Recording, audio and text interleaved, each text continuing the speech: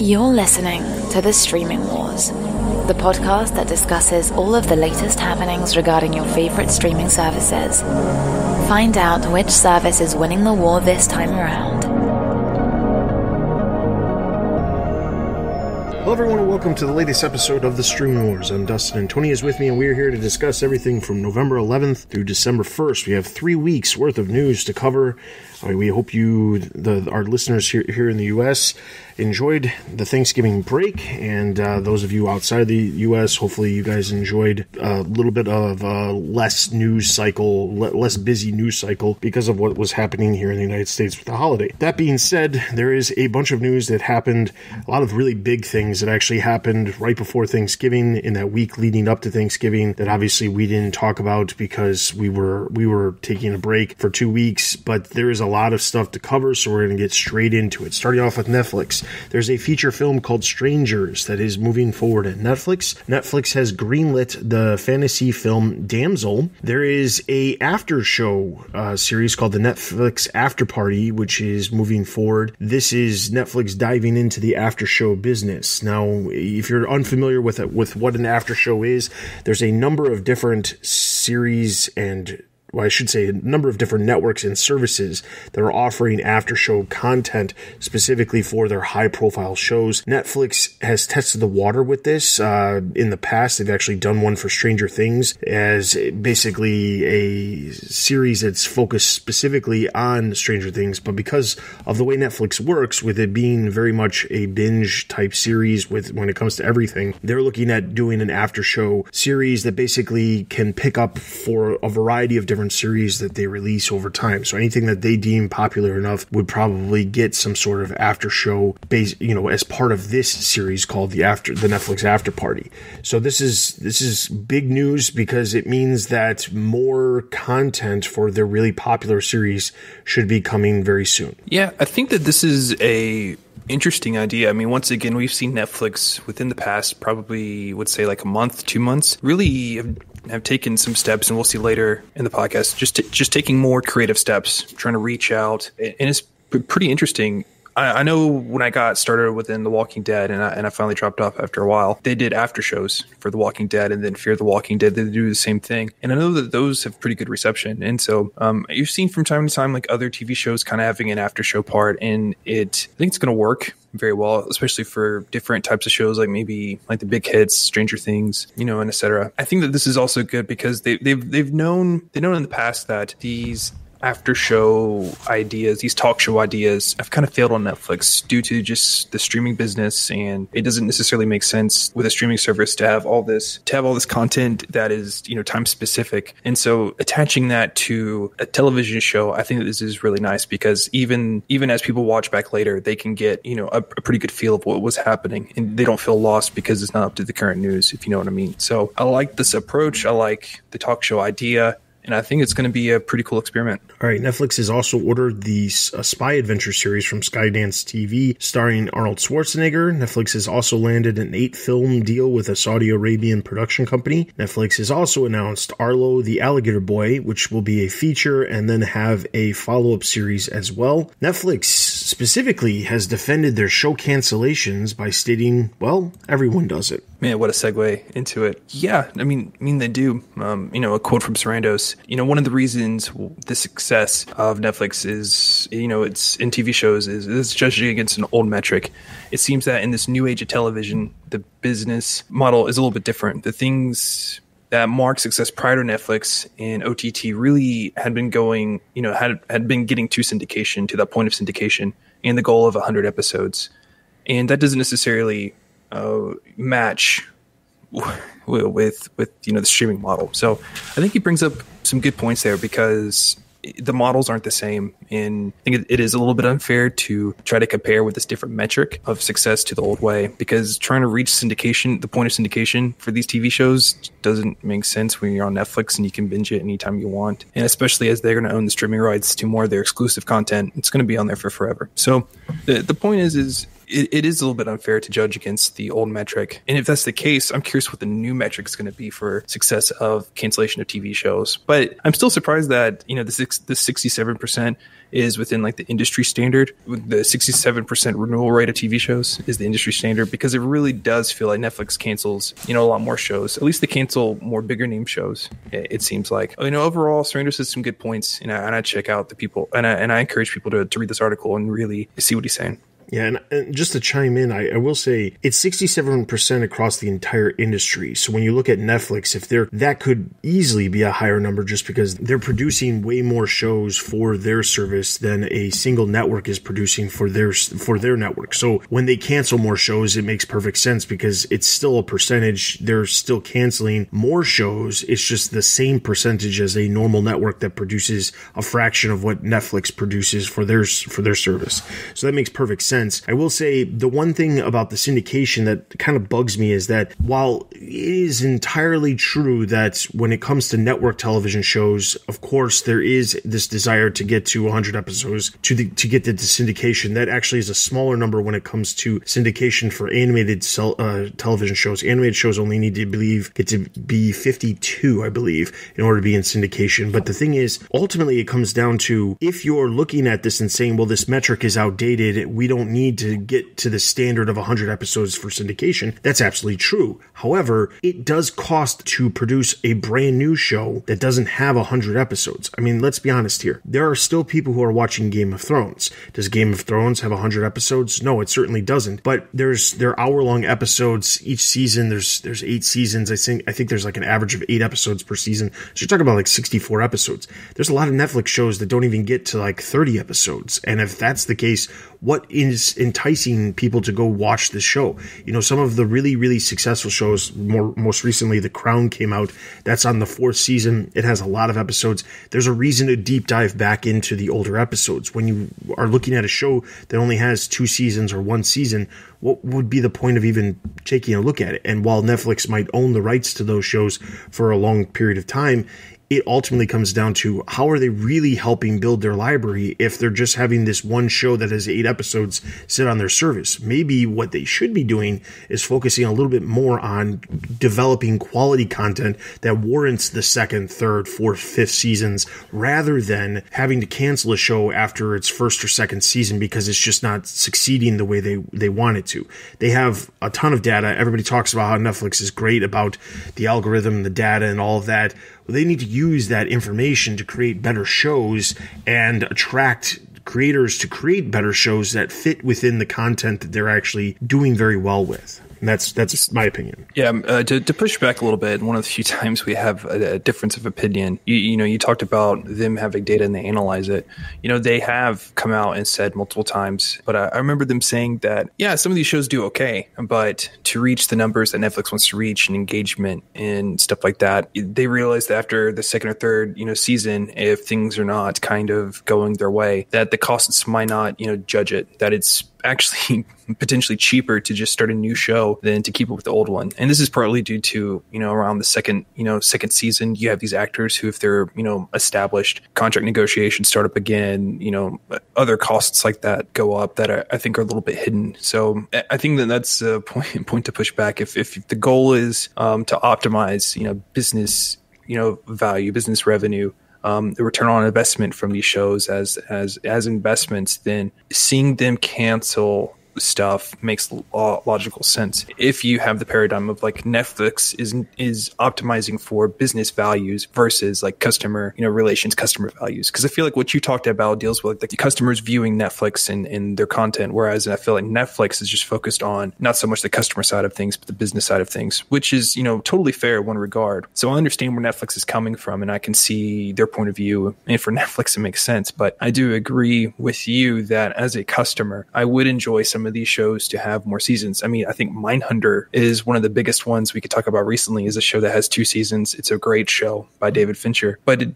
doesn't seem like it's getting a third season because of Fincher, and then Fincher doing his stuff, um, other stuff. But then also, there's been like weird contract negotiations, weird you know budget issues with how much they're going to budget for the show and stuff like that. So um, I remember Sense8, it kind of had a similar situation there of, of being popular among its its fans, and they're you know a relatively decent group of fans, but wasn't like super crazy. And they canceled that show, and it was a big you know hoopla about that. So um, yeah, I definitely see as a fan that some of these cancellations might seem premature. In, in the syndication model, things kind of also makes sense because if you get to 100 episodes, like obviously that there is an established fan base and people really enjoying it. So it, it's I think it's a tough spot for Netflix to be in, and because they're in between you know business values and, and business returns versus you know customer values and customer you know relations. Right, and my my final point on this is just going to be the one thing I will point out is that when you look at the Nielsen top 10 streaming uh, rankings consistently the, you know like the the hot thing of the week whether whether it be like the crown or whether it be the new Borat movie on Prime Video those the the top spots are always dedicated to something that just came out but typically that stuff does drop off. The one thing that a lot of people have noticed if you if you watch the the rankings is that the shows that continuously show up on the top 10 week after week after week are in fact series that are have that are boasting well over 100 episodes that Netflix is actually licensing from elsewhere, like Grey's Anatomy, Criminal Minds, uh, Shameless. These are shows that consistently pop up in the top 10 because they're doing very well, and it's because they have a lot of episodes. And I'm not saying, of course, that you, you have to have a lot of episodes, but they're warranting people to watch the service that has this because there's a lot more minutes that can be watched when there's a lot more episodes. So I think there's counter arguments for both, but I think we both have valid points. So anyway, all right. So moving along, Judd Apatow will make his next feature film at Netflix. This is in contrary to everything he's done before about his films being theatrical releases. There are action. There's an action comedy feature called Student Driver that has been acquired by Netflix. That's going to be popping up in 2021. Shawn Levy has found a new home for his production company at Netflix. Netflix has ordered the comedy series The G Word with Adam Conover. Adam Conover, who previously had a show on truTV, and this is actually going to be co-produced by the Obama's production company as well. David Fincher has signed an exclusive deal with Netflix. This kicks off with his feature film Mank that is actually releasing this holiday season. You know, for Netflix, this is, I think, a solid move in terms of a creator on board with them. I mean, David Fincher, he did, you know, House of Cards, which kind of started Netflix's original content empire at, the, at this point, just did the whole entire, you know, library of things. And then he also did Mindhunter and he's doing a bunch of other things right now. So from a creative standpoint, he, he he's a good creator to have on board. But I'm curious you know, over the past year or two since we started the show, we've mentioned different exclusive deals with you know different streaming providers, uh, different streaming companies, and then also you know different executives, creatives, and whatnot. And I'm curious what you know the rate of return is. Like,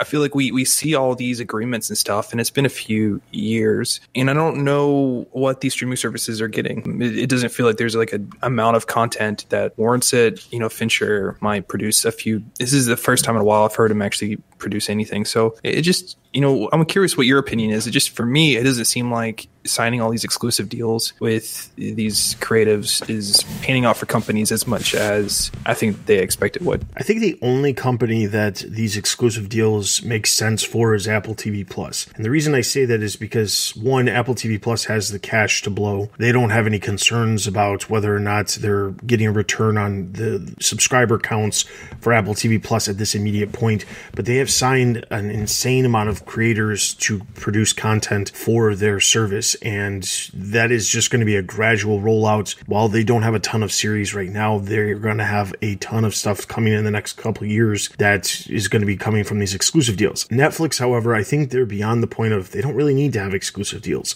I think, honestly, this David Fincher exclusive deal comes across as Fincher, if you look at his filmography from the past couple years, he hasn't done a whole lot. He used to be, churn out a movie every two years, every three years, and then gradually that time increased more and more and more. And the thing is, I'm not going to sit here and say that what he churns out isn't great. Some of my favorite movies of all time are David Fincher films Gone Girl, Fight Club, Seven, it, these are great films. However, the thing is, when you look at what he's been doing the last couple of years, he's been involved with television series like House of Cards, obviously Mindhunter. He had that Love, Death, and Robots last year, but these are series that he's not like show running these series. He's just involved with them. He's producing them. He's helping them out, but he's not like all of his time isn't being eaten up by this. So the last time he produced a film was in 2014 with Gone Girl, and now he's got this Mank. So I think ultimately he likes the pace that he can work at at Netflix, and that's part of the reason why they did this. I also think that it has to do it has a lot to do with the fact that like he doesn't have he doesn't want to have to feel like he has to be pumping and workout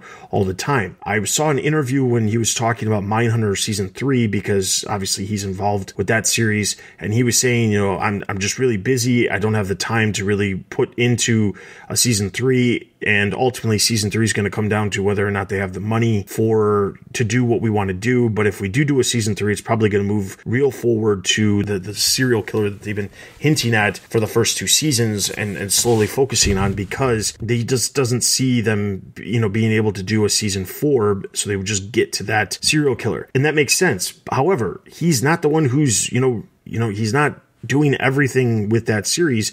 So it's not just the fact that he doesn't have time. And if the show was successful enough, obviously Netflix could go and find another showrunner for it that gets the blessing. They did that with House of Cards. It's not like it's entirely impossible. So I, don't know. I mean, I think that this exclusive deal is kind of the exception to a lot of the ones we've been hearing because I think he's just comfortable with dealing with the people at Netflix He's not being rushed to pump out work. And if you look at some of the other exclusive deals that Netflix has made, a lot of those other deals are they're not like crazy pumping out work either. It's you know they're working at the pace that they want to work at, and they're not being forced to pump out a significant amount of work every single year, which makes perfect sense for Netflix. But money wise, it only makes sense for these exclusive deals to be happening at Apple just because they have the money to blow. Netflix, they're limited on how much money they can spend on these exclusive deals, and it just feels unnecessary for them given their place in the in the industry. All right, so then moving right along, Netflix is developing a 40 Acres film. Netflix has also set the animated comedy film Back to the Outback, which is coming out next year. Charlie Booker's next Netflix projects will be a 2020 mockumentary. Netflix is working on a Korean adaptation of Money Heist, and then finally with Netflix,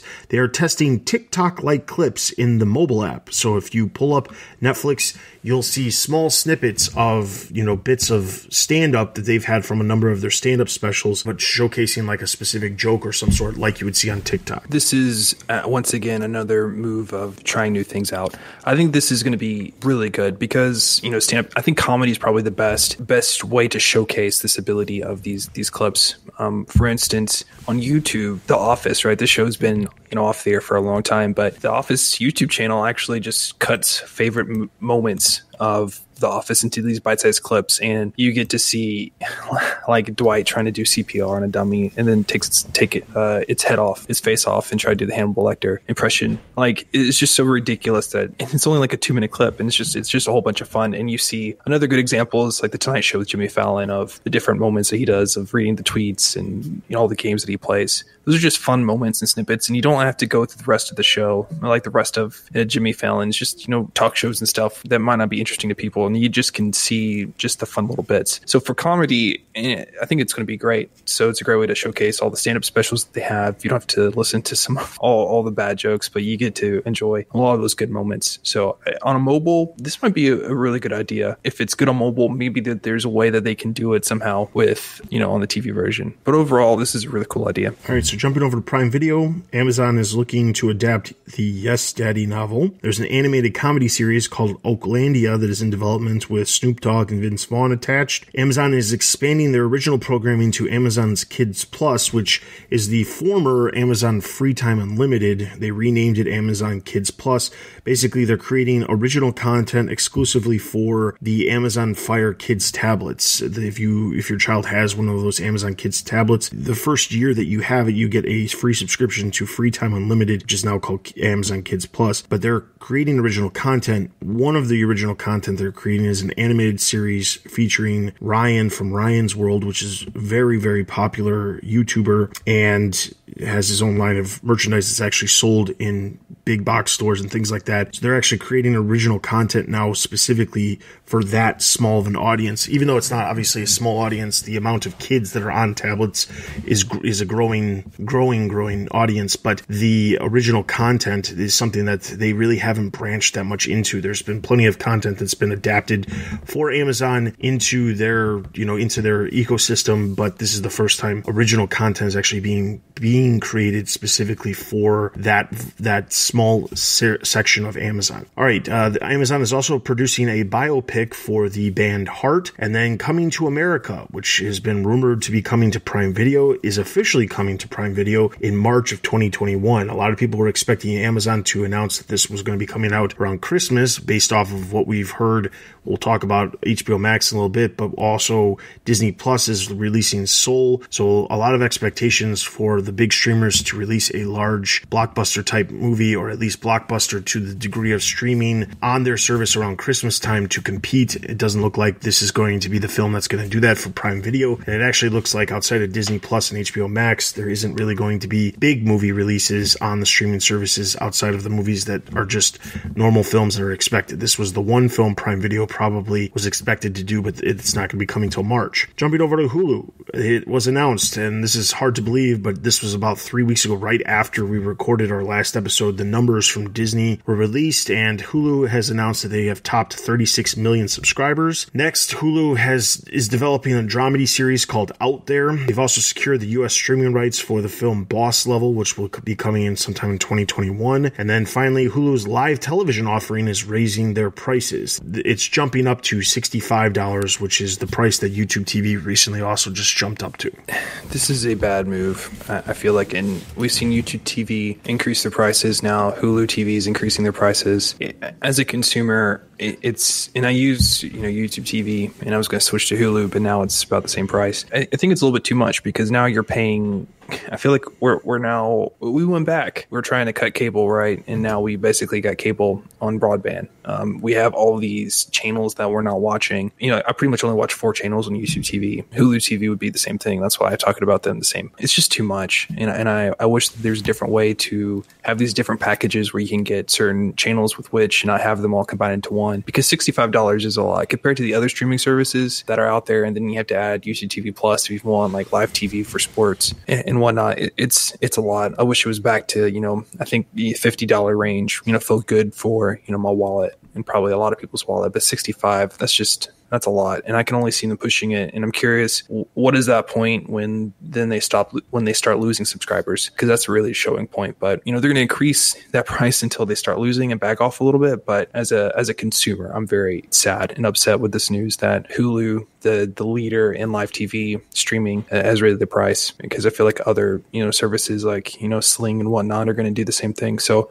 just disappointed. Yeah ultimately it's just going to continue to rise until more and more people decide to start start cutting the cord from the live television offerings altogether. The problem is that the only real solution for this is to start to, you know, to have the media companies stop forcing the bundling of the other channels that a lot of people don't use. But that's not going to happen, unfortunately, for quite some time. As we talked about on our last episode, here's a nice little plug. Go check it out The Death of Cable Television and the Rise of Streaming. So, with that being said, there is nothing for Paramount Plus, Apple TV Plus. Apple has struck a deal to air the Peanuts holiday specials on PBS. Obviously, one of them was the Thanksgiving special, which has already happened, but the Christmas special will also be airing on PBS as well. This isn't to counter the negative PR probably that they received after the Halloween special was only available on Apple TV Plus. Even though it was available for free for a couple of days around, it still created a negative PR storm for them. It was one of the things that just kept popping up week after week after week after they were announced that they were going to be coming to the service. Apple has also boarded the upcoming film featuring the story of Tetris. There is also a series called Surface that is given that has been given a straight to series order as well. Jumping over Disney Plus, as I mentioned, the Disney Plus numbers are out and they have grown to almost 74 million subscribers as of the end of September. That's so much within a year. That's so much. And as of I believe it's December 11th or 12th. I think it's the 12th. They're having an investor summit for Disney, specifically focusing on streaming. So they're going to be talking about Hulu, ESPN Plus, Disney Plus, their upcoming Star, which they're hoping to be the version of Hulu that will be worldwide. But they're supposed to be focusing a lot on that. And they're going to have updated numbers specifically up through the first entire year because that 74 million isn't actually up until within the first year. So there's a good chance that that number is going to increase. It also means that some of the most recent additions to Disney Plus, I should say Disney Plus offering the, the service to other countries, specifically Latin America and, and areas in South America, which launched just after their last quarterly earnings report, that they'll have numbers for that as well. So I think that ultimately we're going to see a number for the first year, but then they're going to say, well, we were at this number for the first year, but we've also launched in these other areas, and now we're at this because it's far, far enough along where they could be giving numbers through the end of November, which are going to be pretty high. So there's a good chance that they could get up to about 85 million by the end of November. All right. There was also some comments about the Mulan paid video on demand results, and the Disney CEO Bob Chapek has said that he was quite pleased with the results from it. He didn't. He did say that he does not have any expectations in the immediate future to put any other films for a paid video on demand or premiere access on Disney Plus, but they were pleased by the results from the film. You know, I'm part of some internet communities where it's about you know films and you know nerdy stuff like that. And there's been some discussion among those that they couldn't believe that Disney would do something with Mulan and just there's been a lot of controversy with Mulan, but even still, like if you were to watch the movie and try to give an objective rating for it, it is probably a B minus at best. It's very beautiful, but there's still some structural issues with the film itself. So between just a bunch of different things, and you're already paying for Disney Plus and an extra, you know, thirty dollars on top of that for Mulan, they just didn't feel like it was worth it. I understand, you know, the community's issues with the paid video on demand issue, but for Disney, you know, it's experimentation. Like you have to try something during this time of COVID. It's just been very crazy. So um, I appreciate them for trying something new, and I think this is a success. Maybe it isn't a huge success monetarily. Maybe they they they cover at, at best the production budget. You know, that's not even including marketing.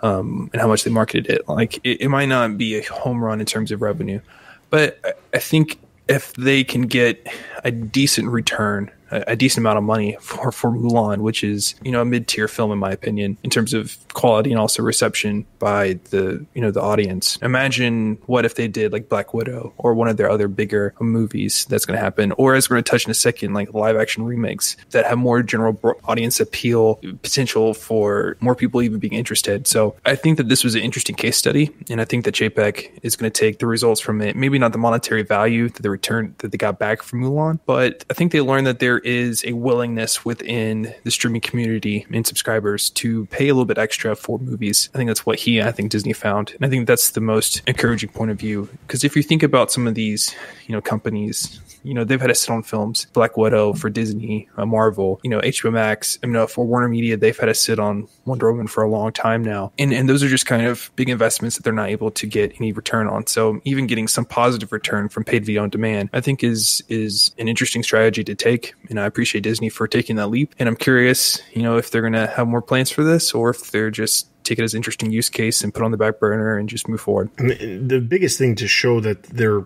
at least for now they're putting on the back burner is because they're releasing Soul, which was one of their big films that would have released in theaters for free on Christmas Day. And then obviously they moved Black Widow, which is another one of their big films. They moved that film to next year, still hoping for a theatrical release. But if things don't get better, you know, there's only a matter of time before we're going to see potentially some other films also come to the service. They've already adjusted certain films. Obviously, Artemis Fowl was another film that came out that was originally supposed to be in theaters. That one they moved to Disney Plus for free. Mulan was really the first big one that, you know, warranted any sort of blockbuster type of ex- expectation return because of how much money they spent to make it. When you look at Soul, it costs a significant amount of money, but nothing like nothing like Mulan or Black Widow. So I could see why they would do that. Also because they need to make sure that they have something to draw people in, especially around the holidays. People can buy a Disney Plus subscription for somebody else, and then they'll immediately have something to watch right away. All right, that being said, the Disney executive team is set, is said to be all in on the massive reorganization and the Disney Plus focus. This was due to some things that have changed recently. The series The Mysterious Benedict Society is moving moving from Hulu over to Disney Plus. Disney Plus has put the Darkwing Duck reboot in development. They've had good success with rebooting DuckTales for the Disney Channel, and now it's going to be they're going to be doing something very similar for Darkwing Duck. Disney Plus is furthering its reach with the launch in Latin America, as I mentioned earlier, launched in Latin America and Brazil. And then finally, Disney is considering pivoting live action remakes of specific animated films to Disney Plus, specifically Pinocchio, Cruella, and Peter Pan and Wendy. These are films that were ex- ex- expected to go to theaters, but because of, I guess, the budget range that they, they cost, they're considering instead of continuously marketing these films towards a theatrical release to immediately move them over to Disney Plus. Now, this is not unheard of because this has already happened. Lady and the Tramp was one of the films that actually launched Disney Plus, and that was a live action remake, obviously, of Lady and the Tramp. But obviously, Disney has had very high success with certain films. Beauty and the Beast and Lion King both grossed well over a billion dollars for the for the studio. So there are certain films that if they think that they can, they're going to be able to do very well, they're going to keep them for theatrical. These films, however, Pinocchio, Peter Pan, and and the Cruella, focusing on Cruella de Vil from 101 Dalmatians, they're looking at these films and saying, well, these probably aren't films that are going to make a billion dollars for us. So maybe if they're only going to make a half a billion dollars in, in the theaters, maybe we move them over to Disney Plus instead and use those as a way to bring in more subscribers.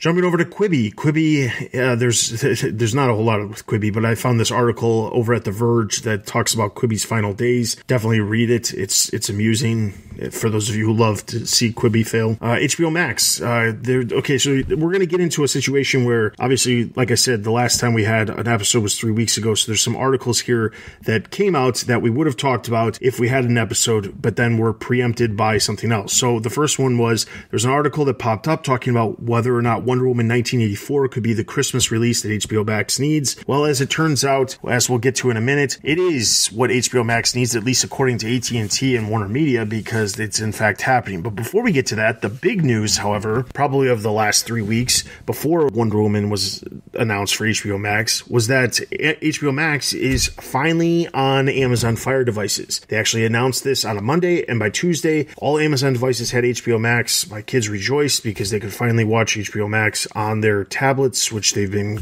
bugging the heck out of me since HBO Max launched because of the specific kids content that HBO Max offers. So it's available on, on Amazon devices, which is great news. Now, of course, the the ball is in Roku's court because now outside of Roku, which currently has about 45% of the market share when it comes to streaming devices, HBO Max is in fact available on all devices outside of Roku, which still obviously makes up a huge market share yes, uh, finally, come on, Roku, let's let's make a deal. But I would make a, an observation as we're recording the week that we're recording this. Black Friday was a few days ago. There's a big sale of just everything before Christmas. And then Cyber Monday is the, the Monday following. And it's still another thing where people have tons of discounts and stuff. And Amazon has extended, you know, the Cyber Monday deals for, you know, a few weeks now.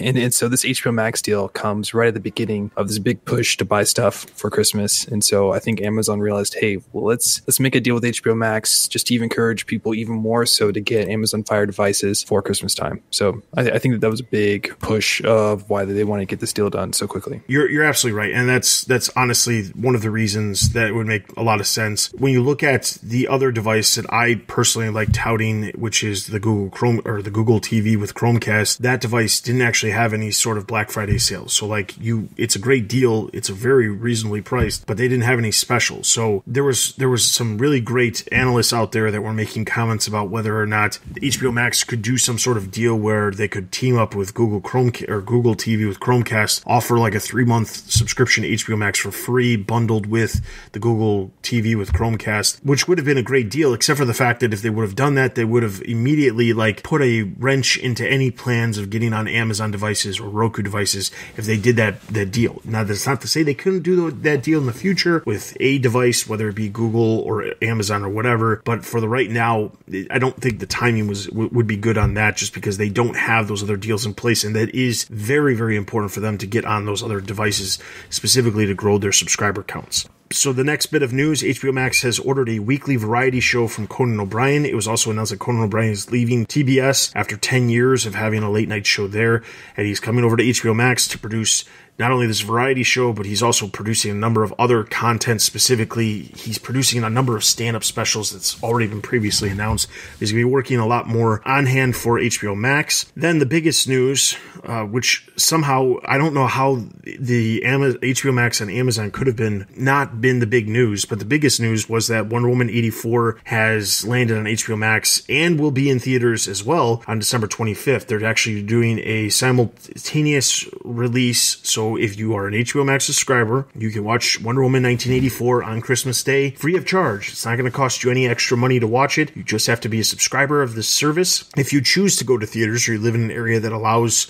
you to go to theaters, given what's going on with the pandemic, you will actually be able to still be able to see in theaters that are offering it, but uh, it will be available at the exact same time as it is in theaters on HBO Max, which is huge news by itself, outside the fact that this is a huge movie. It's been delayed since June, and a lot of people weren't expecting this. I think there was a lot of film industry analysts that were looking at this and saying this is a horrible idea. We should just put this to, you know, move it to next year. There's not a whole lot of other stuff that you can, you know, there's a lot of other films that obviously have been pushed as well, but you're, there's, this is the potential of making a billion dollars. Are you really going to pass that up? And at the same time, there's streaming analysts that are looking at this and saying this is a huge way to get subscribers to check out HBO Max, especially if they land a Roku deal before the holidays, because basically everyone then will have the ability to get HBO Max on their device. But in, on top of that, they'll be able to check out because I think a lot of streaming analysts have acknowledged that HBO has HBO Max has an insanely great library. There's a ton of content there. There's a lot of content that will keep people around for a long period of time, but you have to see it to believe it. In other words, you have to have some reason to bring you to the service, and this could be it. A lot of people assumed the Friends reunion was going to be it.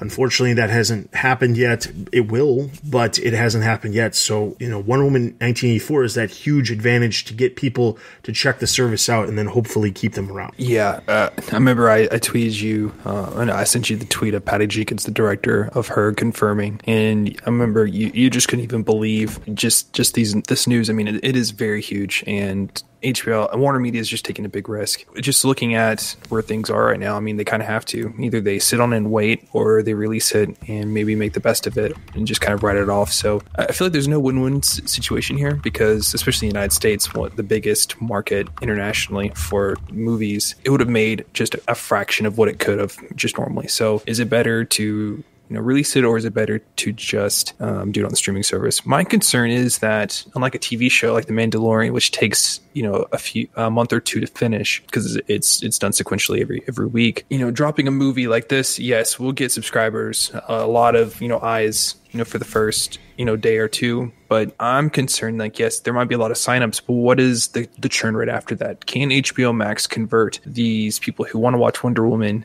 Uh, 1984 for long-term customers and will they cancel after the first month? That is what to me if they, they re, if they keep a, a decent percentage of you know those customers i think that that's going to be a huge win for hbo max and it's going to be a good sign for warner media of like okay like this is, this strategy worked. But if they're not able to hold on to those subscribers for more than a month or two then this might be considered a flop in that regard because it got a lot of eyes. It made hbo max really popular. People were talking about it. But if they can't keep customers or land new ones after the fact because of just this word of mouth that's going to happen then this is kind of all for nothing. So that to me is the only concerning part of this whole entire deal is that yes they're foregoing a pile of cash that could happen in the future with you know releasing it in a bigger fashion. But that's an undetermined time of when they're going to get the cash or they can take this risk now get, gain subscribers promote hbo max but there's still the risk afterwards of of a huge churn rate you know that's kind of how i view the situation. It's, it's a pretty delicate one. Hopefully hbo max is able to keep those people around. Yeah and honestly i hate to say this but wonder woman 1984 has become basically a marketing write-off for hbo max. So that's ultimately what it is. And I'm not saying anything bad against the film. I'm looking forward to seeing the film. Obviously, I'm not saying anything bad about HBO Max because I love the service, but it is this film could have potentially made a lot of money if it came out in theaters and it's obviously not going to. But when you look at what happened recently with Tenet insisting on Tenet going to theaters, it releasing in theaters, and that was during a time where the pandemic, you know, obviously the numbers are ticking back up now, but before when Tenet came out, the numbers were actually ticking down. So like that was a time where more people could have seen it, but they weren't. They weren't going to the theater even if they could. And that film did only made, I think, $54 million in the US when in, you know, pre-pandemic world, that film probably would have made, you know, $300 million in, in the US because of how, you know, the type of film that it was. So unfortunately, that's just not happening. And the thing is, because numbers are ticking back up, yeah, there's word about vaccines and that's all great, but whether or not the vaccine is actually entirely viable and how quickly that actually is dispersed to the public and actually can bring all of the stuff that's well, happened from the pandemic back to normal, that's, that's far out at this point. I mean, even even going off the vaccine part, I, I just I feel like consumers are just not comfortable going to theaters and, and, taking that risk, even if a vaccine comes out and, and stuff like that. I mean, I feel like the world will start turning back to normal in 2022, and yeah. so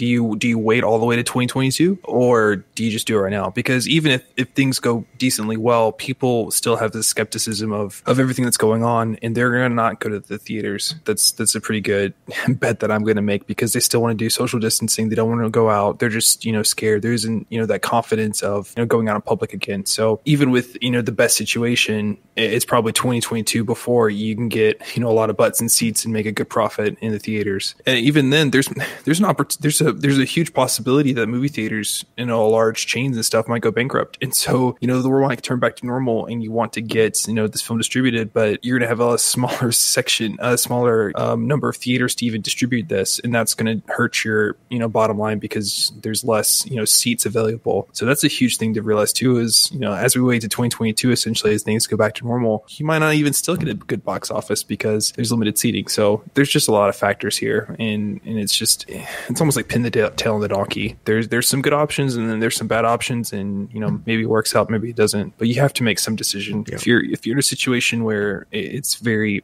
unclear which way to move forward, at least going in a direction is more progress than just standing still. And honestly, them trying to get more subscribers to HBO Max is not necessarily a bad thing because if it does work, bringing people to the service because of this film, if this film is in some ways, as some analysts have called it, the sacrificial lamb to get people to check out HBO Max, that might be a good idea just because if the numbers continue to tick up and the vaccine's still months away, we're talking about going into winter here. We're talking about, you know, potentially having even higher numbers of cases and even more quarantines and lockdowns and things like that. I'm not saying this is specifically have to do with it, but if you look at it, uh, Disney Plus's numbers, they've done incredibly well with the amount of growth that they've had in the year. And obviously, they had no idea that it was they were going to grow as well as they did. But a lot of that had to do with, or at least in my opinion, it has to do with the fact that the pandemic happened when it did, and the service is available and has a large amount of content that people are going to check out, and of course, kids are going to watch. HBO Max, maybe they don't have as much kid content as as Disney Plus, but when you compare what HBO Max has to what Netflix has, and you look at the price that Netflix is now that they've raised their prices recently, it's pretty comparable. So then maybe you get rid of Netflix and you just keep and you switch over to HBO Max. You know, there, there's that there's that thought there. So I'm I'm only hoping that you know because of the way things are going with Wonder Woman 84, if the the route goes the way everybody seems it looks sees it going with the pandemic getting potentially bad again, then maybe this is HBO Max's way of trying to get subscribers into the service to try to help Warner Media start making some money rather than not having any films out there releasing. So there's that. All right, so moving right along, HBO Max has given a series order to the adaptation of DMZ, which is a DC Comics uh, series. Uh, HBO Max has also ordered a docu series focusing on Nicki Minaj. HBO Max has greenlit the Last of Us series, which is based off of the video game series, widely popular series on PlayStation. Amazon will remove the HBO channel next year. Now, this is pretty big news because if you remember, one of the reasons why Amazon and Roku weren't very adamant about making a deal with HBO Max as well as Peacock was because Amazon and Roku wanted HBO to have a channel within their service. They did not want to have an app. They wanted the channel to still exist. And the reason why Amazon and Roku want that is because when they have the HBO as a channel, they're actually getting part of the revenue from the subscription every single month. Now, that's not to say that Amazon wouldn't be getting some sort of revenue cut from the HBO Max signups that they get. However, it's not the same. And the big point of contention, of course, was that HBO Max wanted their subscribers in their native app, not somewhere else. And the reason why is because they get the data from that app, not from the channels that are available on other services. So this was a big point of contention. So the real question is if Amazon made the deal with HBO Max, HBO Max is now on Amazon and next year the HBO channel will no longer be available on Amazon and it will be basically replaced by HBO Max. The real question is what did HBO Max have to give to Amazon in order to make this happen? Because it seems like Amazon is the one who's losing out on this,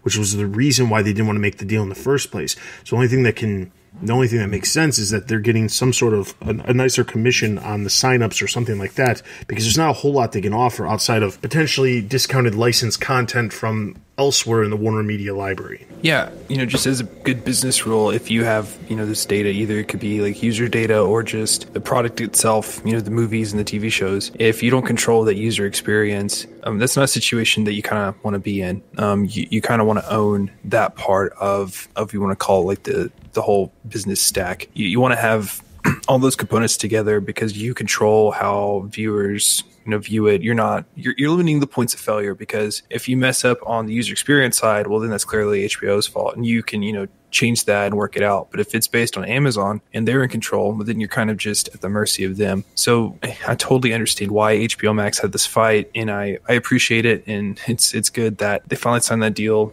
and all that. It, it, it just makes sense. So yeah, Amazon will move the HBO channel. They said that you know the HBO app on the Fire TV will automatically upgrade to the HBO Max app. So basically, how other apps have done that. They say that new customers can also subscribe to HBO Max directly in the app, which is you know pretty nice. You don't have to go to your computer, then log in, create the account. You can just do it all from there, which is just really great for customers. And, you know, they will be able to get, you know, HBO Max via the Fire TV and Fire tablets using their existing login. So that's kind of the deals of this. That's the details of, of what's happened here. Yeah, I am curious, you know, like what, what the, what uh, HBO Max had to give up. But overall, I think this is a great deal. All right. Moving right along, HBO Max is, re- is releasing the remaining episodes of the HBO series Industry early. Now, there is five total episodes that would continuously air on Sunday nights, but f- for some reason, I guess they decided this is another marketing opportunity, especially because these released over Thanksgiving weekend. And there was also obviously the large marketing push that they were having with the Warner Media cable channels,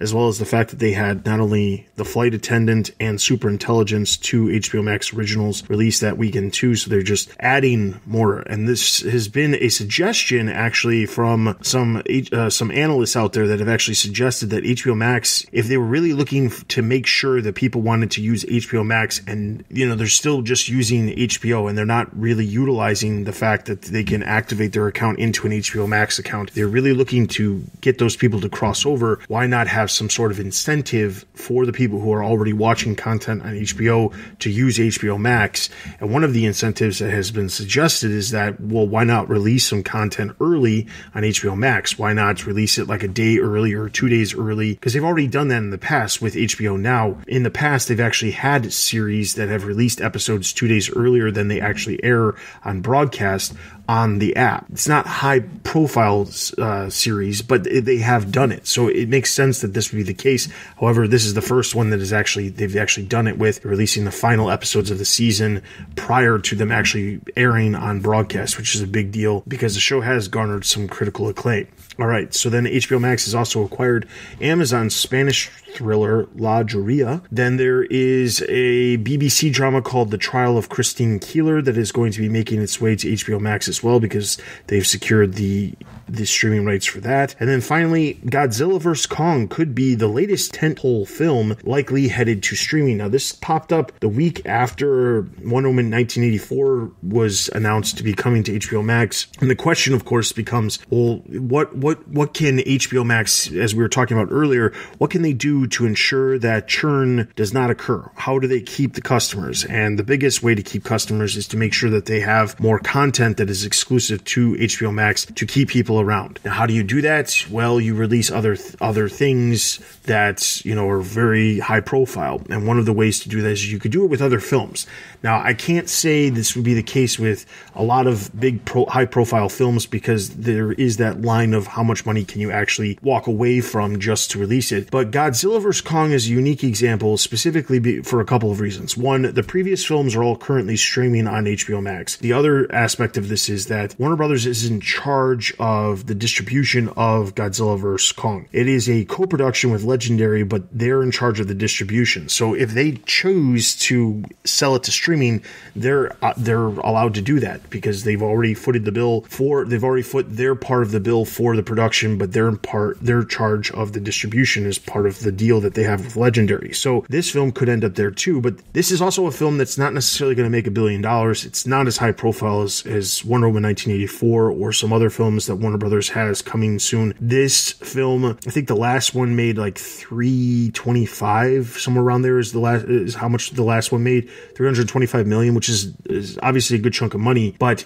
that is, you know, as long as their budget was reasonable, this could be one of the films that could be on the service. Now, there's word on the street that Netflix actually offered $200 million to have this film come to Netflix. And Warner Media has actually said, you know what, wait, we're not sure we want to do that, and the reason why is because they're contemplating on whether or not they want it to come to HBO Max. So, could it end up on streaming? Entirely possible. I personally love this this the series, the recent series of Godzilla and, and King Kong movies. So we'll see what happens, but yeah, we'll see. All right, Peacock. Peacock has launched a linear channel for Saved by the Bell. Specifically, the new Saved by the Bell reboot launched over Thanksgiving weekend. Leading up to that, they had added one of their free channels to air episodes of Saved by the Bell. Jumping over to niche streaming services, Starz and Epix are approaching streaming very differently. Uh, this article is over at the Streamable. It's talking about how they're both looking at streaming and the perspectives that they have going forward. They're not looking at growing as large as say CBS All Access slash Paramount Plus or HBO Max. They're looking at it from a very different perspective. ESPN Plus has grown to over 10 million subscribers. That is the latest numbers coming out of the Disney quarterly results. There's a new streaming service that is focusing on black creators that has been announced.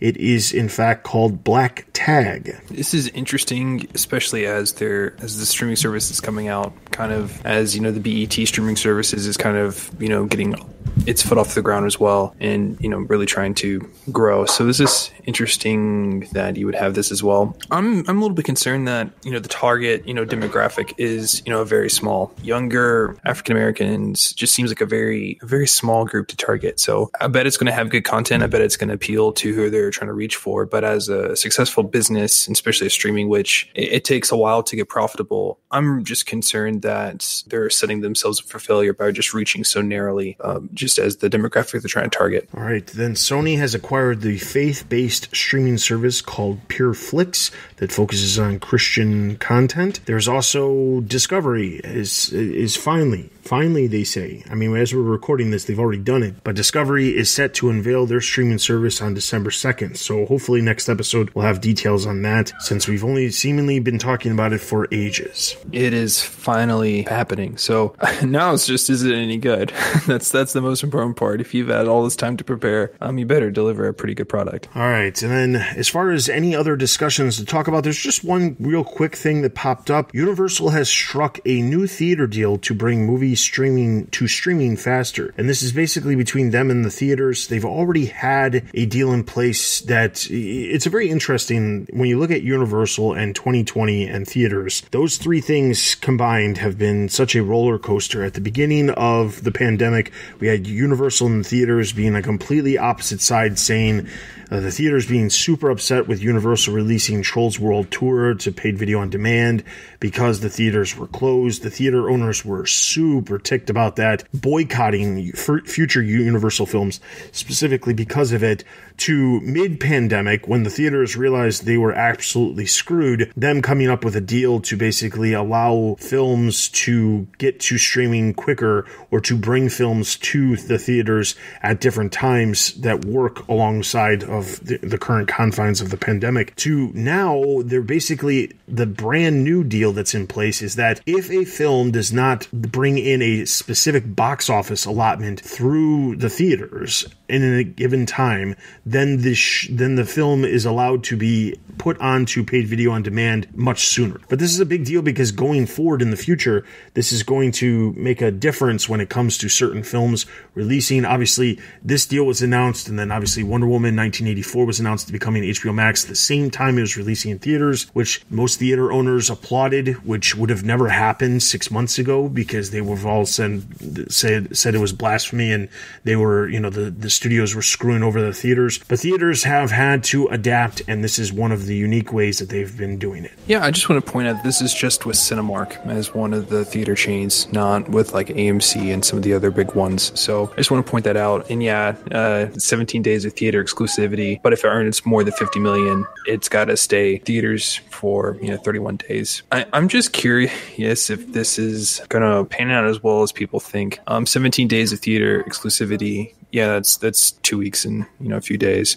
I'm just not sure that that's and then it has to raise fifty million dollars and if it reaches more, then it's you know has to stay a month. I don't know how that's any different than some of the deals that we've seen currently. Like I don't I don't understand how this is a you know a true net positive. I know it's different than you know the norms and customs that have been pre-pandemic, but as you know we've seen lately, it, it just seems not that good for you know I think the streaming services. If their goal is to push out content on the streaming services as fast as possible, but their you know hands are still tied due to agreements with you know theater chains, I don't see how this is necessarily necessarily benefiting Universal Pictures uh, as much as I think this article is trying to to point up a little bit. So that's like my one big concern. And it's also interesting. I, I didn't realize this, but through the deal with AMC and this deal with Cinemark, Universal will give you know a cut of its revenue in the U.S. as part of this partnership. So that's also very interesting that Universal is also going to pay these theater chains due to their profits as well. I found that a pretty just interesting detail. Does it really affect my you know analysis of the situation? Just was like okay, like Universal's you know also going to have to pay out a little bit of money. So that's that that to me was surprising. All right, and with that, that is everything for this episode. There's been a lot of news obviously over the past three weeks. Obviously, one of those weeks was a little bit less news just because of the holiday. Uh, just as a forewarning, at the end of December, we will be taking another two week hiatus because of Christmas and New Year's. So just be prepared for that. But we will be bringing all the news leading up to that. And those two weeks typically are very, very low on news, even more so than what we just had. So with that being said, we do have a couple more episodes before the holidays roll around. Please check out the show notes. There is a ton of articles, obviously, that we talked about here. And then there is a ton of trailers. There's actually something like 60 something trailers that have released in the past three weeks because there's just an insane amount of content that's coming in the month of December. As we get into award season, there's films being released right before the end of the year, as well as other other you know just content because of the holidays, holiday breaks and coming up and things like that. So be sure to check all that out. In addition to that, you can follow us on Twitter and join our Discord to find all the articles that we talk about here on the podcast and some that we don't. You can follow us on Instagram for all the latest announcements related to new episodes of the podcast posting. You can also send us an email at the streaming wars at gmail.com with any questions, comments, concerns, topics you'd like us to talk about on the future episodes, as well as feedback feedback. You can also leave feedback wherever you're listening to this podcast. That is always greatly appreciated. With all of that being said, for Tony and myself, please continue to stay safe out there, and we'll see you guys next time. Thanks for listening to the Streaming Wars. Check us out on Twitter and Instagram. Also, consider supporting us on Patreon. Links can be found at thestreamingwars.io.